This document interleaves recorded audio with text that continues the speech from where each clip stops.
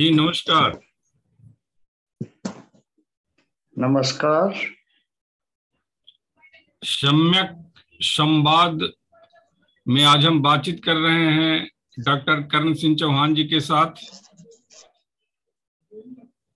Mauritius के लेखक रामदेव दुरहंदर जी ने अपनी कुछ बात रखी है। कि वहाँ रहने वाले हिंदी लेखकों के लिए हिंदी में लेखन ही अपने आप में बहुत कठिन है। वो अपना अस्मिता बोध हिंदी में रहकर बचा रहे हैं, क्योंकि आने वाली पीढ़ियाँ तो अपने आप को भारतवंशी कहना भी नहीं चाहती हैं। तो बताएँ, उनकी सोच जो है, वो कहीं ना कहीं तो कुछ सवाल पैदा कर ही रही है। जी। असल में उस दिन जो बातचीत हम लोगों के बीच में हुई थी, उस पर रामदेव जी की कुछ आपत्तियाँ मुझे भी पढ़ने को मिली।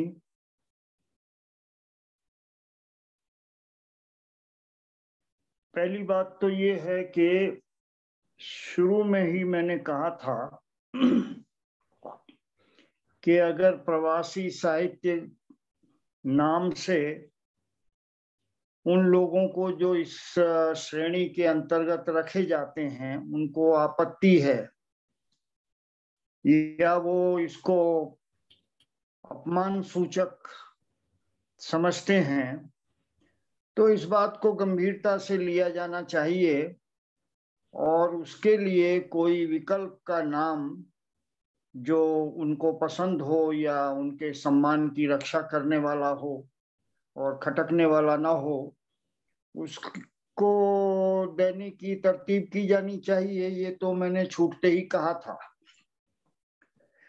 तो अगर वो भी सुझाएँ कि उनको क्या नाम इसकी जगह पसंद है मतलब ये भी हो सकता है कि उनको किसी एक नाम से न जान करके हम लोग जो है मॉरिशस के हिंदी लेखक फिजी के हिंदी लेखक, ब्रिटिश गयाना के हिंदी लेखक, जैसे होता है अमेरिका के हिंदी लेखक इंग्लैंड के हिंदी हिंदी लेखक, रूस के हिंदी। तो उसी श्रेणी में रख करके उसी तरह से बात करें कि वो मॉरिशस के हिंदी लेखक हैं या इन देशों के हैं तो इस तरह का कोई भी सुझाव जो उनकी तरफ़ से आना चाहिए तो उसको हम हिंदी के लेखक जो है इसको लेकर के आगे बढ़ें और उस पर बातचीत करें कि ये कैसे होगा और इसमें क्या रुकावटें हैं उनको दूर कैसे किया जा सकता है? या सरकार ने जो प्रवासी दिवस या प्रवासी भारतीय नाम से जो एक पूरा का पूरा तंत्र चला दिया है आ, उसको कैसे बदला जा सकता है? तो ये सारी चीज़ बातचीत हो सकती है अगर ठोस सुझाव वहाँ से आता है। तो ये बात मैंने उस समय भी कही थी। बस ये कहा था कि इसके अलावा जो ध्यान देने वाले मुद्दे हैं, वो हिंदी की, अस्मिता के हैं, हिंदी के अस्तित्व के मुद्दे हैं, जिन पर ज़्यादा बात की जानी चाहिए और जिन पर ज़ोर दिया जाना चाहिए। ये मैंने कहा था कि इस संकट से, क्योंकि हमारी बातचीत का जो प्रारंभ जब हुआ था इस सीरीज़ का तो इसी सवाल से हुआ था कि हिंदी आज हमारे, स्वयं हमारे देश में किन संकटों से जूझ रही है? और हिंदी का अस्तित्व जो है स्वयं खतरे में है। हिंदी की अस्मिता जो है, ये अभी तक ठीक से बन ही नहीं पाई है।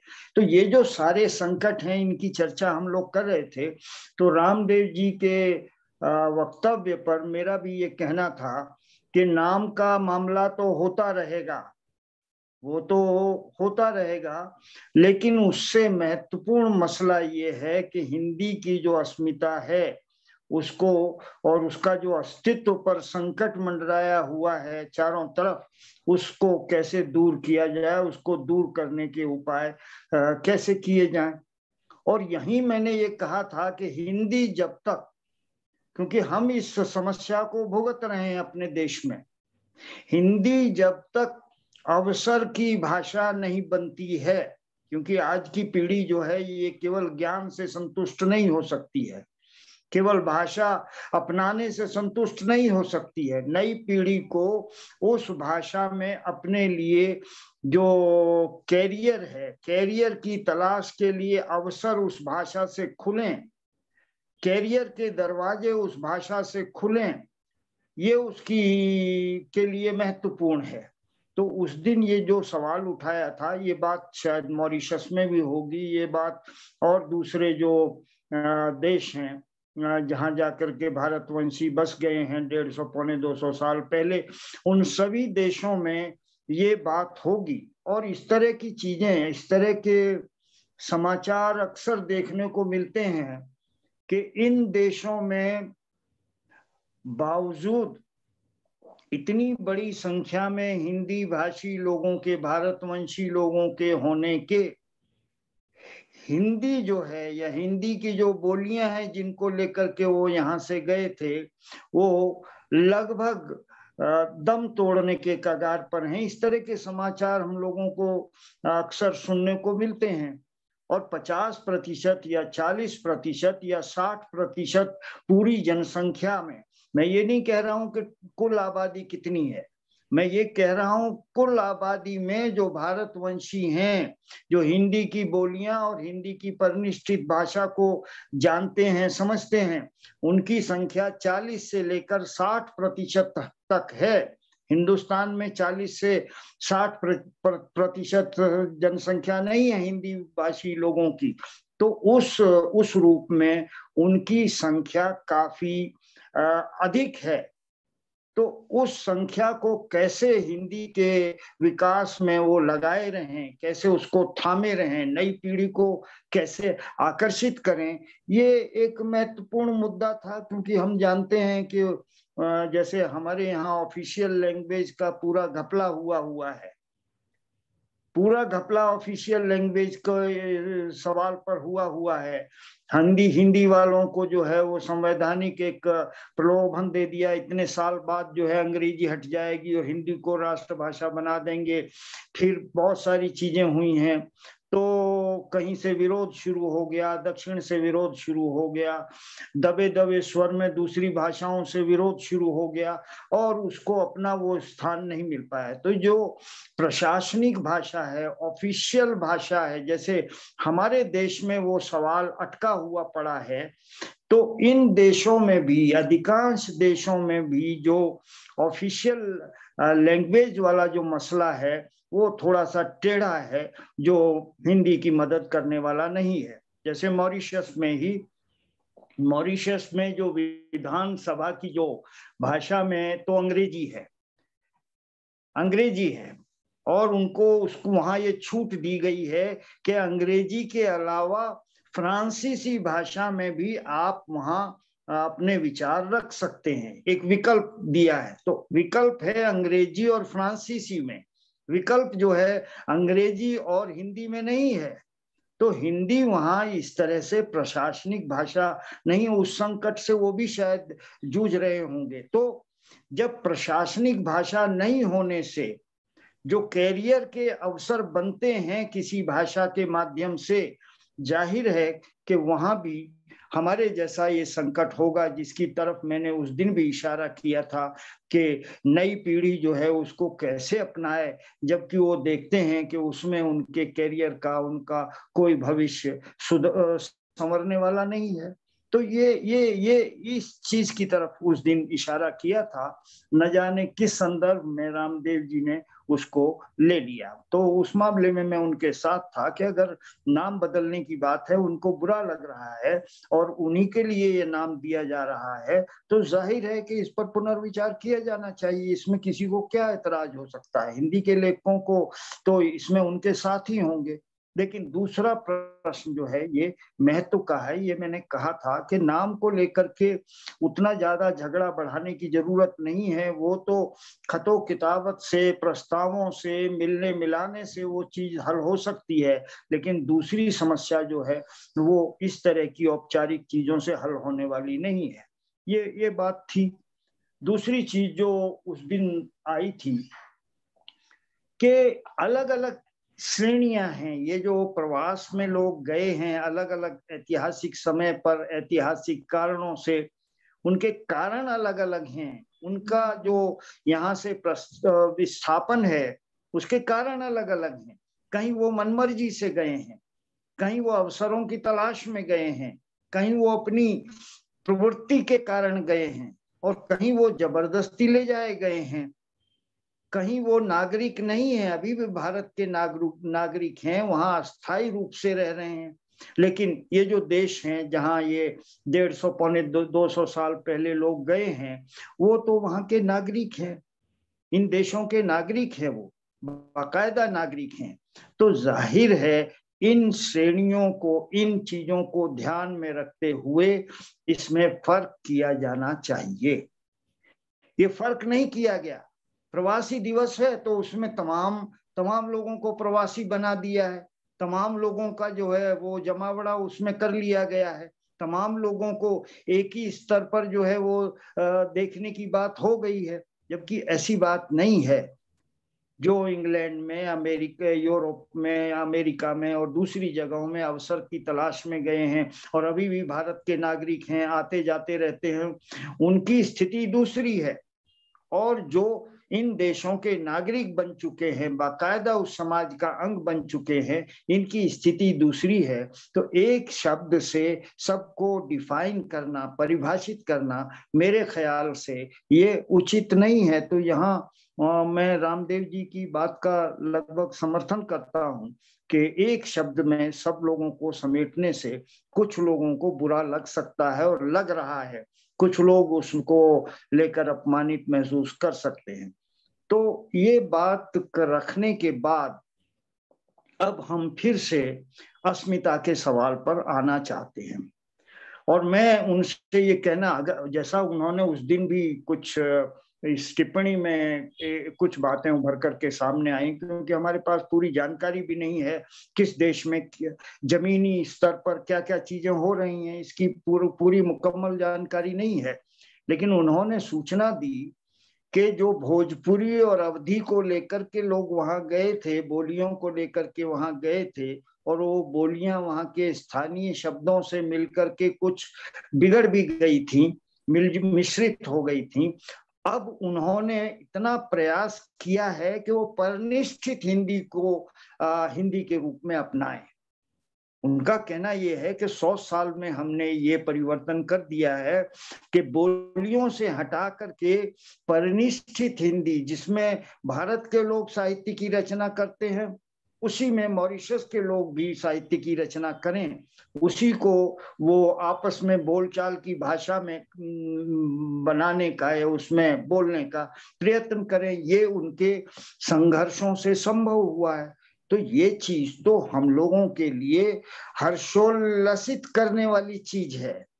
मतलब ये तो गौरव की चीज़ है आनंद की चीज़ है अगर उन्होंने अपने संघर्ष से ये ये ये स्थिति को प्राप्त कर लिया है कि वो अब परनिष्ठित भाषा को अपनी जो भारतवंशी जो लोग हैं वहाँ जो बसे हुए हैं उनके बीच में बोलचाल की भाषा बनाने की तरफ़ बढ़ रहे हैं काम कर रहे हैं तो ये ये तो बहुत ही आ, खुशी होने की बात है जिसकी सूचना उन्होंने दी है। तो इस तरह उनका दर्द यह भी है कि एक एक समाज का यह है कि वो दर्द से निकली हुई भाषा है एक का शौक से निकली हुई भाषा है। एक शौकिया जो हिंदी में लिख रहे हैं।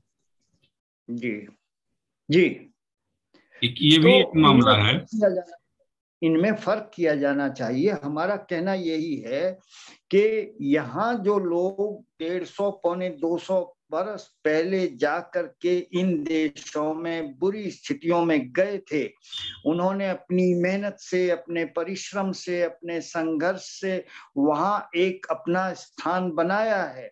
अपने भाषा के लिए संघर्ष किया है, अपने साहित्य के लिए संघर्ष किया है। तो ये गौरव की बात है सभी के लिए जो है। तो इसमें कोई दो राय नहीं हो सकती है। तो ये प्रसंग के बाद हम लोग फिर अपनी हिंदी की जो अस्मिता की बात है उस पर आते हैं। और बार बार उस पर हमको आना पड़ेगा। हम ये जानते हैं कि हिंदी की अस्मिता जो है, जिसको हम कहते हैं हिंदी जातीयता, बहुत सारे विद्वानों ने इसका नाम दिया हिंदी जाति, हिंदी जातीयता।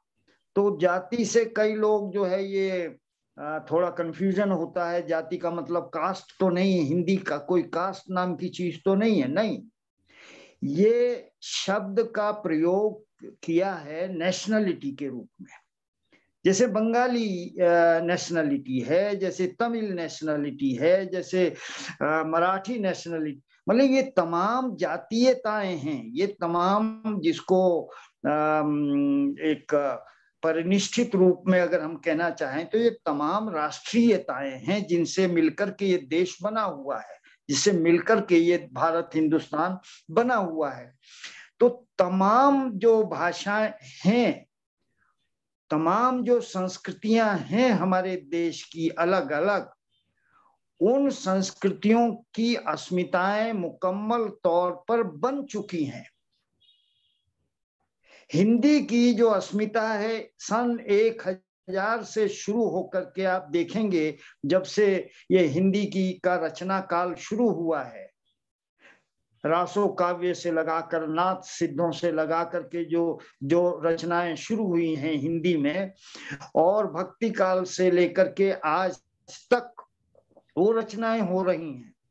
और पूरी की पूरी जातीयता के निर्माण का प्रारंभ हो चुका है। आप ये देखेंगे कि संत कवियों में जो है, जायसी जो है, वो यहाँ लिख रहे हैं, कबीर लिख रहे हैं रविदास लिख रहे हैं, सूरदास मतलब इनमें जो है कोई ऐसा भेदभाव नहीं है। ऐसा लगता है एक ही मुहिम में सब लोग लगे हुए हैं। कोई फ़र्क नहीं है। और अठारह में अंग्रेज़ों ने भी इस बात को देख लिया कि ये जातीयता का, राष्ट्रीयता का स्वरूप जो है, ये हिंदी राष्ट्रीयता का स्वरूप जो है, इसका निर्माण हो गया है। जब ये संघर्ष शुरू हुआ और बहादुर शाह ज़फ़र को लोगों ने अपना शहनशाह घोषित किया, सबने मिलकर के उसमें हिंदू भी थे, उसमें मुसलमान भी थे, उसमें तमाम जातियों के लोग थे सबने मिलकर के इस बात पर जब सहमति जताई तो अंग्रेज़ों को ये पहली बार आभास हो गया कि ये हिंदी जातीयता का निर्माण जो है इस देश में हो चुका है। ये अस्मिता जो है, ये सामने आ चुकी है। और इसी से घबरा करके बाद में तमाम तरह से उन्होंने बदला लिया इसको। क्या आप इस बात की कल्पना कर सकते हैं इस देश में कि बंगाली जातीयता है उड़िया जातीयता है, तमिल जातीयता है, असमिया जातीयता है, सारी जातीयताएँ जो है ये अपने होने पर गर्व करती हैं। उनकी अस्मिता का निर्माण हो चुका है, उनकी संस्कृतियाँ हैं। हिंदी जो है वो इस तरह की बिखरी हुई है। ये बिहार है, ये मध्य प्रदेश है, ये राजस्थान है, ये हिमाचल प्रदेश है, ये उत्तराखंड है, ये हरियाणा है, लेकिन हिंदी जातीयता कहीं नहीं है, सब अलग अलग है। और फिर उन्होंने क्या एक बीज बोया? उन्होंने जो बीज बोया, पहले तो आर्य और द्रविड़ का जो है ये बीच में बंटवारा जो है ये विलियम जोन्स से लेकर के मैक्स मूलर तक और गिल क्राइस्ट से लेकर के और ये जो बाद में जो हुए हैं, उन तक, ग्रियर्सन तक, इन सब लोगों ने एक ही चीज़ पर ज़ोर दिया और वो आज तक चली आ रही है, दुनिया भर में चली आ रही है। हमारे देश के तमाम बुद्धिजीवी जो है उसी को फॉलो करते हैं, उसी का अनुकरण कर रहे हैं। कि आर्य बाहर से आए, विदेशी आक्रमणकारी थे। उन्होंने यहाँ द्रविड़ों को मार करके दक्षिण की तरफ़ भगा दिया।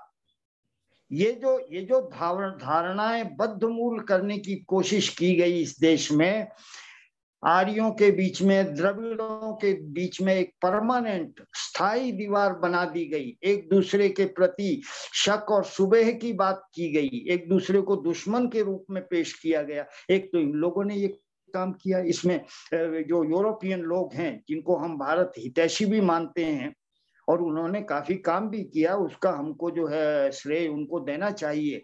लेकिन क्योंकि यूरोपीय मानसिकता, उपनिवेशवादी मानसिकता रही इस पूरे दौर में, इसलिए बावजूद सदिच्छा के वो उपनिवेशवादी मानसिकता से ये तमाम विद्वान मुक्त नहीं हो पाए कहीं ना कहीं भारत को वो अपने भारत की जातीयताओं को आप, आपस में लड़ाने की जो नियत है उससे बाज नहीं आए। बांटो और राज करे करो की जो नीति है उसको हर जगह लागू करना चाहते रहे। तो ये चीज़ को देखना चाहिए। कि उन्होंने जो स्थायी रूप से भारत के अंदर बीज बोया। एक तो ये ये जातीयताओं के बीच में दुश्मनी का जो है ये आर्य आर्य विदेशी आक्रमणकारी थे और उन्होंने यहाँ देश की संस्कृति को जो है परास्त करके, उनको भगा करके उस पर अन्याय कर, ये सब किया। ये तो अब जा करके पिछले पिछले पचास सौ बरस में जा करके ना ये बात सामने आ रही है कि आर्य तमाम प्रमाण जो पुरातत्व से मिल रहे हैं, खुदाइयों से मिल रहे हैं और भाषा भाषा वैज्ञानिकों को मिल रहे हैं कि आर्य बाहर से कहीं आए गए नहीं है, आर्य इसी देश के रहने वाले थे अगर वो भाषा बाहर प्रभाव उनका दिखाई पड़ता है यूरोपियन भाषाओं पर तो यहाँ से वो व्यापार करने के लिए यूरोपीय देशों में जाते रहे और वहाँ उनकी बीच बीच में जो है वो ठिए भी बने हुए हैं जिस रास्ते से वो जा, ये तो अब जा करके सारी चीज़ों को उलट फेर करके ये बातें हो रही हैं। लेकिन अभी तक तो सारी दुनिया, और अभी भी दुनिया के विद्वान नहीं मानते हैं, हमारे देश के विद्वान नहीं मानते हैं, खासकर जो मार्क्सवादी विद्वान हैं, वो तो इस बात को मानते ही नहीं है, बिल्कुल जो है। लेकिन फिर भी यहाँ के जो लोग हैं, दूसरी धारा है, वो प्रयास कर रही है लगातार। उसमें बहुत सारे पुनरुत्थानवादी रुग्णताएँ हैं, उसमें विकृतियाँ हैं, लेकिन फिर भी प्रयास हो रहे हैं कि चीज़ों को ठीक संदर्भ में रख करके देखा जाना चाहिए। तो एक तो इन्होंने ये सब काम किया। दूसरा क्यों नहीं हिंदी की अस्मिता का निर्माण हो पाया? जो हो रहा था मद, पूरे मध्य काल में आधुनिक काल तक होने लगा था। जैसे दूसरी तमाम भाषाएँ जो है उनकी अस्मिताएँ और संस्कृतियाँ और ये सब बन चुकी हैं। हिंदी का क्यों नहीं बन पाया? दूसरा उन्होंने जो झगड़ा लगाया, वो हिंदू मुसलमान का लगाया। हिंदू मुसलमान का झगड़ा आपस में लगाया, जो कि हिंदी भाषी प्रांतों में सबसे बड़ी संख्या में रहने वाली जो आबादी है, उसको आपस में लड़ा दिया। अठारह के बाद आप देखेंगे कि हिंदू मुसलमान का जो बैर भाव है इसमें जो विद्वेष है, इसमें जो घृणा है, इसमें जो मारकाट और सांप्रदायिकता है, ये अंग्रेज़ों के प्रयासों से इतनी ज़्यादा बढ़ गई कि मिलन बिंदु उसका साहित्य पर भी प्रभाव है। मिलन बिंदु जो है वो खोजे नहीं मिलता है। ये किया उन्होंने। और तीसरी बात, उर्दू और हिंदी का झगड़ा बीच में डाल दिया कि उर्दू और हिंदी जो है पहले तो ये कहा कि हिंदी कोई भाषा ही नहीं है, ये तो उर्दू ही है, ये हिंदवी ही है। फिर भी संतोष नहीं हुआ तो दो भाषाओं को अलग अलग जबान के रूप में अलग अलग उसके रूप में पेश किया गया। और दोनों की जो लिपियाँ हैं, उनके बीच में एक झगड़ा डाल दिया कि ये देवनागरी में लिखी जाती है, ये फारसी में लिखी जाती है। मतलब ये है कि एक भाषा की अस्मिता के निर्माण का जो चल रहा था, प्रयास चल रहे थे, एक हज़ार बरस से अंग्रेज़ों ने उसको पूरी तरह से तोड़ने के प्रयास किए और इतने सारे झगड़े लगा दिए हिंदी जातीयता के निर्माण में कि आज तक हिंदी जातीयता का निर्माण हो ही नहीं पाया, ठीक तरह से निर्माण हो नहीं पाया। ये तमिल में कैसे संभव हुआ? ये कन्नड़ में तेलुगु में यूरिया में अस, असमिया में बांग्ला में ये कैसे यहाँ संभव हुआ? वहाँ इस तरह का कोई विरोध जो है देखिए तमाम भाषाओं में हुआ। मतलब ये जो जिनको हम कहते हैं ये द्रविडियन लैंग्वेजेज हैं द्रविड़ परिवार की जो भाषाएँ हैं उसमें भी हुआ। और जिसको हम इंडो आर्यन लैंग्वेजेस के भारोपीय भाषाएँ कहते हैं, जिसमें बंगला, गुजराती, मराठी और पंजाबी, ये ये सब भाषाएँ आती है उत्तरी भारत की। उन सब में ये संपन्न हुआ। केवल हिंदी हिंदी को लेकर के ये संपन्न नहीं हो पाया। भारत के आज़ादी के बाद पहली बार ये प्रयास किए गए कि राज्यों का बंटवारा किस आधार पर करें? तो ये तय पाया गया कि राज्यों का बंटवारा भाषाई आधार पर होना चाहिए, क्योंकि भाषा ही वो आधार है जिसमें किसी जाति की संस्कृति रीति रिवाज ये ये ये ये सब चीज़ें चलती हैं, पहचान होती है उसकी। तो इस आधार पर बंटवारा किया गया। तो उनका एक स्वतंत्र राज्य बने, उनकी एक भाषा और एक संस्कृति बनी और उस तरह से उनकी अस्मिताओं का निर्माण हुआ।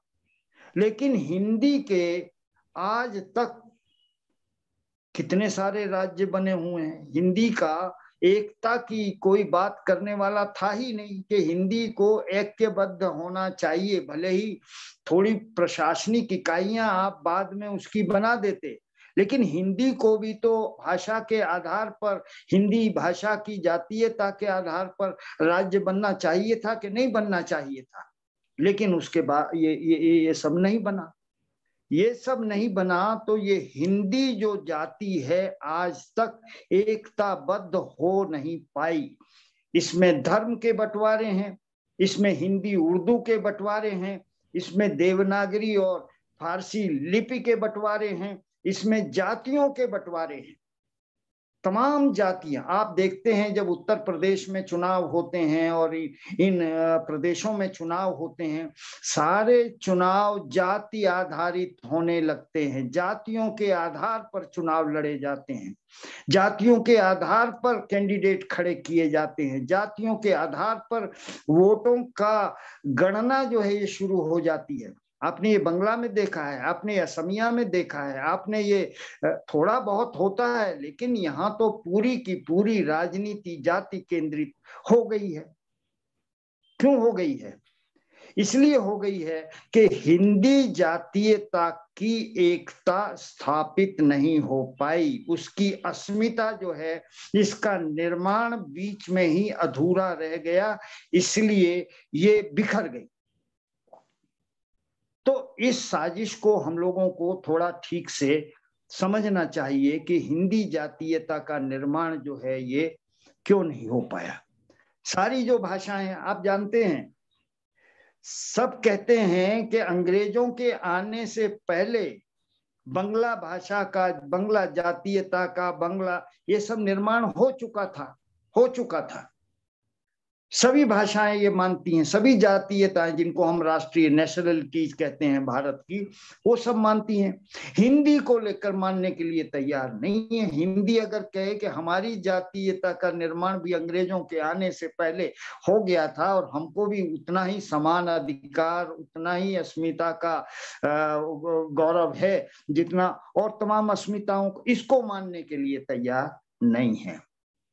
इस ये चीज़ काफ़ी गंभीर हैं और इन पर आ, मतलब यहाँ तो नहीं लेकिन इन पर आ, विचार करना चाहिए। यहाँ इससे बड़ा सवाल ये है कि जब सब भाषाएँ सब भाषाएँ सब संस्कृतियाँ सब जातीयताएँ अपने ऊपर गर्व करती हैं अपने ऊपर गर्व करती हैं अपनी परंपरा पर गर्व करती हैं, साहित्यिक अवदान पर गर्व करती हैं, तमाम चीज़ों पर गर्व करती हैं। लेकिन जब हिंदी जो है किसी छोटी सी चीज़ को लेकर के किसी छोटा सा गौरव गान करने लगती है तो तमाम लोगों की भ्रकुटियाँ तलने लगती हैं कि ये साम्राज्यवाद ये साम्राज्यवाद का प्रतीक है। ये हिंदुस्तान में अंग्रेज़ी की का स्थान लेने की कोशिश की जा रही है। इस तरह की आवाज़ें चारों तरफ़ से सुनाई पड़ने लगती हैं। इस बात को सीरियसली देखना चाहिए, क्योंकि ये हमारे देश के भविष्य से जुड़ी हुई बातें हैं। मैं आपको ये, हालाँकि ये स्टेटमेंट थोड़ा सपाट आपको लग सकता है, लेकिन मैं यहाँ इस स्टेटमेंट को ज़रूर कहना चाहूँगा। कि जब तक ये हिंदी जाति की अस्मिता नहीं बनेगी इसकी एकता नहीं बनेगी ये देश की एकता पर खतरा हमेशा मंडराता रहेगा। ये हिंदी जातीयता ये मध्य देश जो है ये सीमेंटिंग फोर्स है इस देश की एकता के लिए।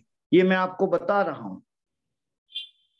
कड़वी बात लग सकती है लेकिन ये बात आ, सही है।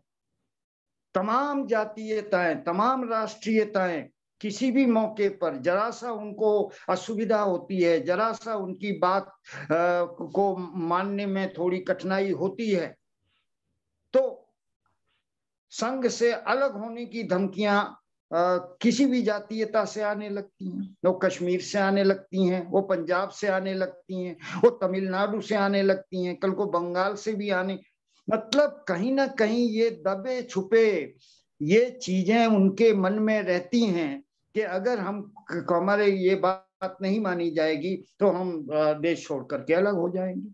ये जो अलगाववादी प्रवृत्तियाँ तमाम जातीयताओं में घर करती हैं, उसका कारण उसका एक बड़ा कारण है कि मध्य देश की जो जो हिंदी जातीयता है, उसका उसकी अस्मिता उसका अस्मिता ठीक से बन नहीं पाई है। उसकी एकता ठीक से बन नहीं पाई है। वो पूरी की पूरी जातीयता विभिन्न धर्मों में विभिन्न भाषाओं में विभिन्न जातियों में बटी हुई है और इसका प्रभाव पूरे देश के भविष्य पर पूरे देश की राजनीति पर और पूरे देश की एकता पर पड़ता है।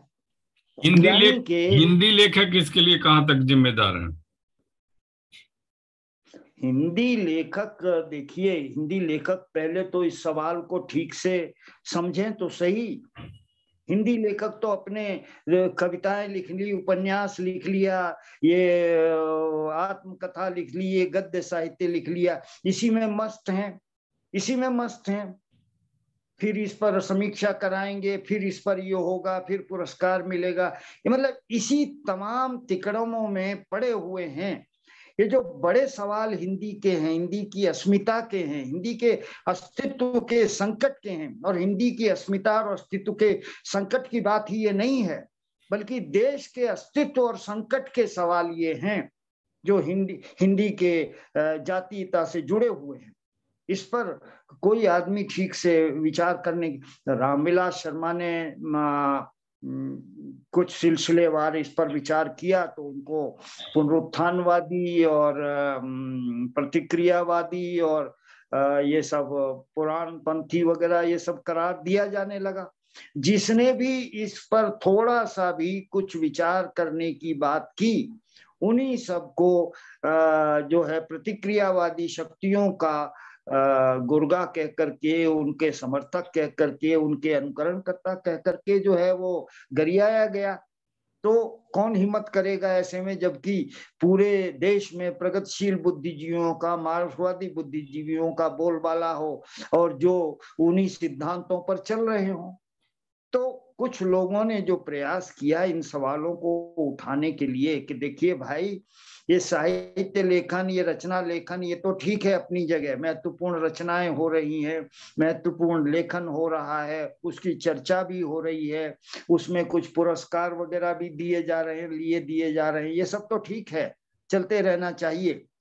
लेकिन भाषा को लेकर के भाषा की अस्मिता को लेकर के, हिंदी की जातीयता को लेकर के जो मूलभूत सवाल हैं, उन सवालों को भी अपने बहस के दायरे में, अपने विमर्श में जब तक हम नहीं लाएँगे, तब तक हम ना तो हिंदी भाषा के मूल संकट को समझ सकते हैं न हिंदी भाषा के जो अस्मिता है, उसको समझ सकते हैं। और केवल हिंदी भाषा कोई नहीं, इस देश के ऊपर जो संकट है, इस देश की अस्मिता पर जो संकट है, उसको भी नहीं समझ सकते हैं। तो ये सवाल ऐसे हैं जिन पर गंभीरता से सोचना चाहिए। हिंदी वालों को बिना अस्मिता के भी या अस्मिता बोध के बिना भी काम कैसे चल जाता है? ये एक, ये सवाल अभी है। नहीं इस पर क्या उनको मतलब अधिकांश लोग कुछ लोगों को हो सकता है ये ये चीज़ें सोचते रहे हों।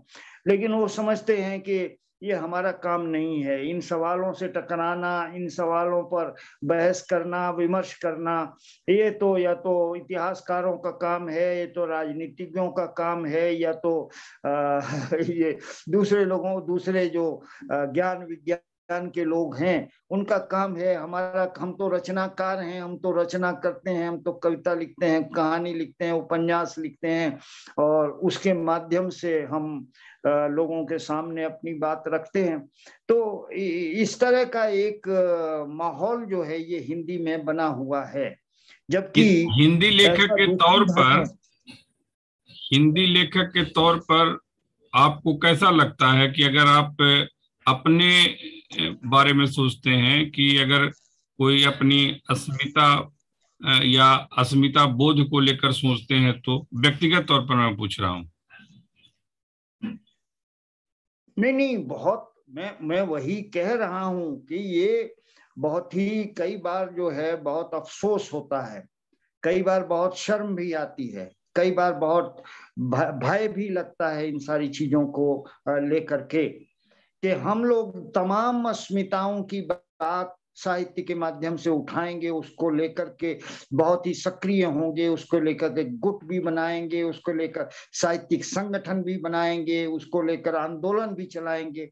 चाहे वो नारी अस्मिता है, चाहे वो दलित अस्मिता है, चाहे वो आदिवासी अस्मिता है, अब तो जो है वो तमाम जातियों की अस्मिताओं के आधार पर संगठन बनने लगे हैं। हर जाति जो है वो चाहती है कि हम ये पिछड़ी जातियों की अस्मिता आ गई है और अब के, केवटों की आ गई। अब इस मतलब इन चीज़ों को लेकर के बहुत आंदोलित हैं। बहुत सक्रिय हैं।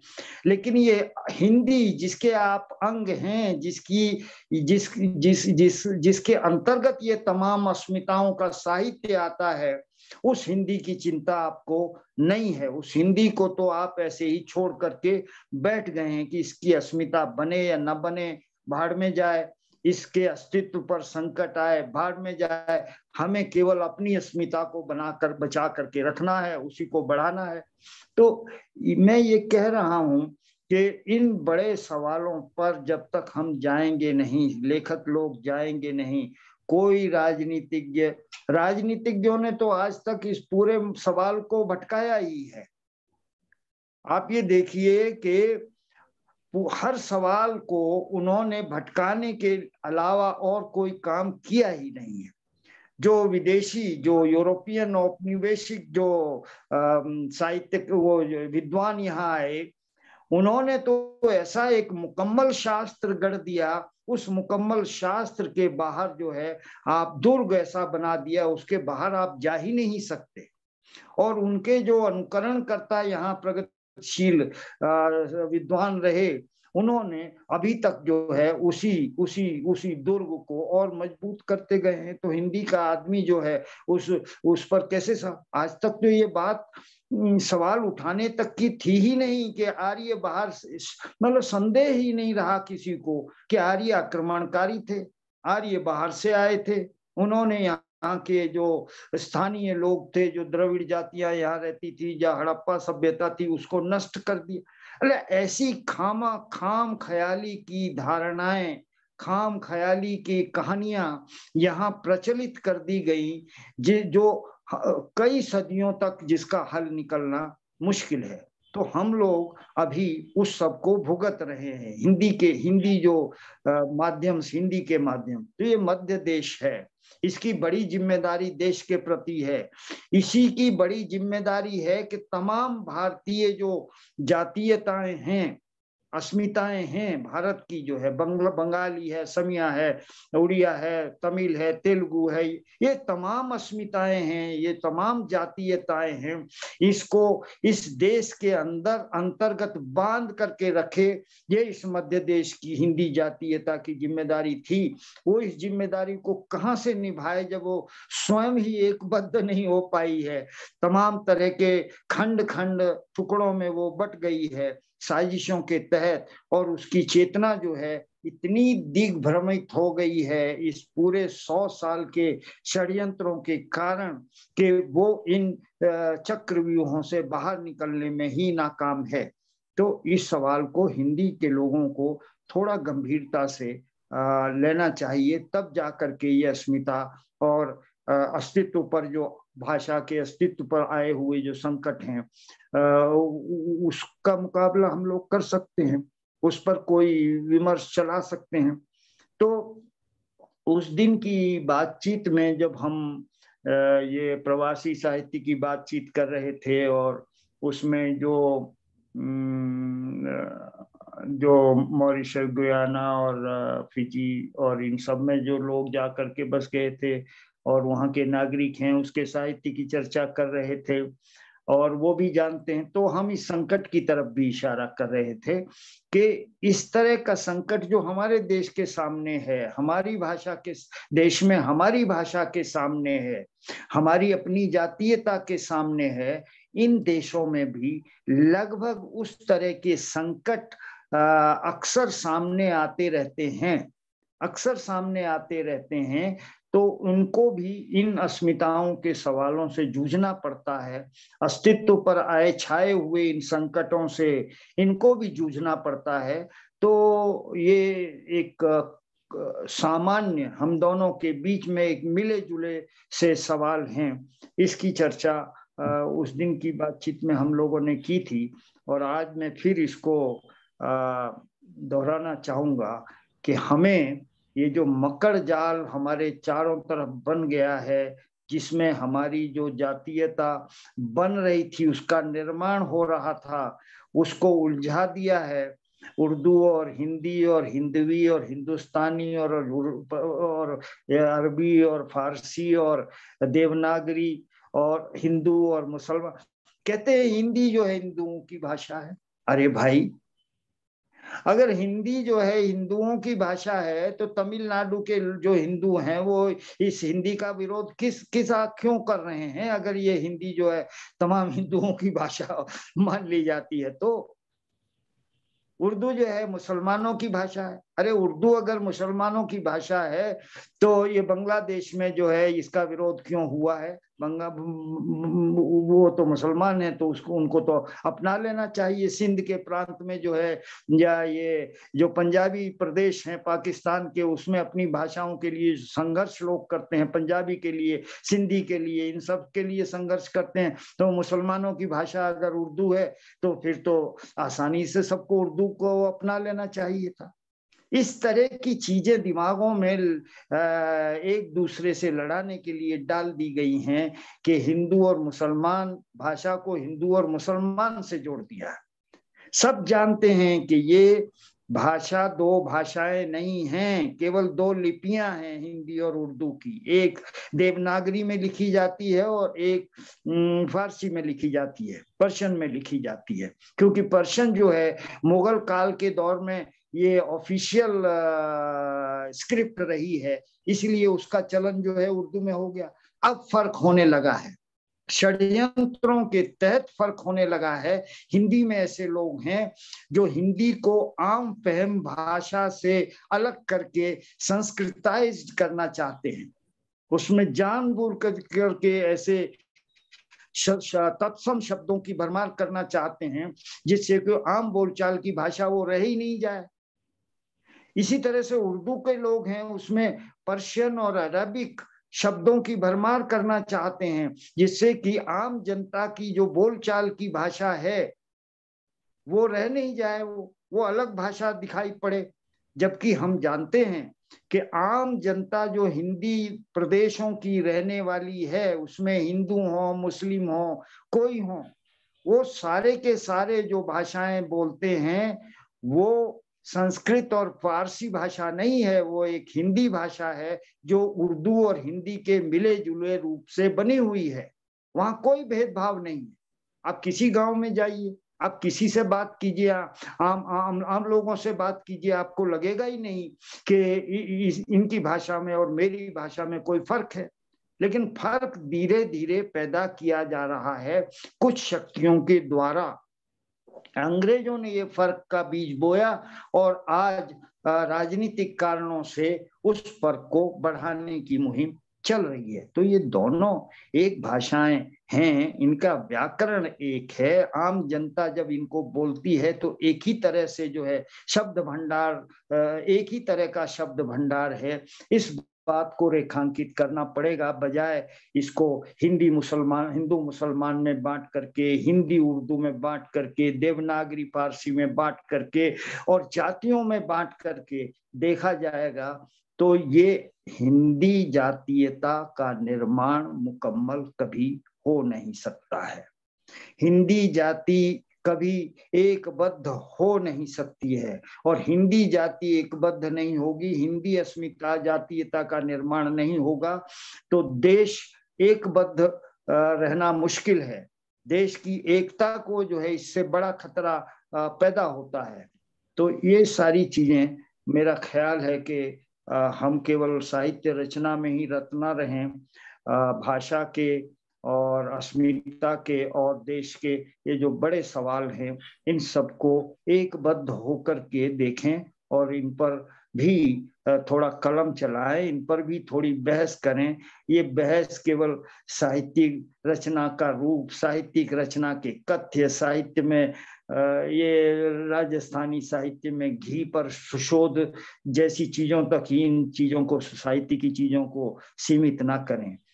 तो तभी आ, मेरा ख्याल है कि हमारे सवालों का भी जवाब इन चीज़ों से निकलेगा और रामदेव धुरंधर जी और दूसरे तमाम देशों के जो लोग हैं जो भारतवंशी हैं उनकी जो समस्याएँ रोज रोज सामने आ रही हैं अस्तित्व संकट की समस्याएँ सामने आ रही हैं उनका जवाब भी इन्हीं चीज़ों के विमर्श से निकलेगा। तो मिलजुल करके हिंदी के जो, और कौन कौन इसमें नेतृत्व करेगा? आप समझते हैं कि जो राजनेता हैं, जिन्होंने बांटा है जनता को अलग, इन, इस जातीयता को जिन्होंने ध्वंस किया है खंडित किया है, क्या आप समझते हैं कि वो इन सवालों का जवाब ढूंढेंगे? जो इतिहासकार हैं, जिन्होंने उपनिवेशवादी मस्तिष्कों के आधार पर जो है अपने निर्णय सुनाए हैं हिंदुस्तान के इतिहास के बारे में आज भी सुना रहे हैं और पूरे ये परंपरा को, पूरी संस्कृति को, पूरी सभ्यता को विखंडित करने का और अपमानित करने का काम करते हैं। आप समझते हैं, वो इसका निदान सुझाएँगे? हिंदी के प्रति आपके मन में अगर ममत्व तो है, हिंदी के प्रति अगर आप प्यार करते हैं, हिंदी जातीयता के निर्माण में अगर जरा भी आपकी रुचि है, हिंदी ये इस देश के एकता में, इस देश के एकबद्ध रहने में और इस देश के एक साथ मिलकर के प्रगति करने में अगर आपकी जरा भी रुचि है तो मैं समझता हूँ कि ये सवाल आपके लिए हैं।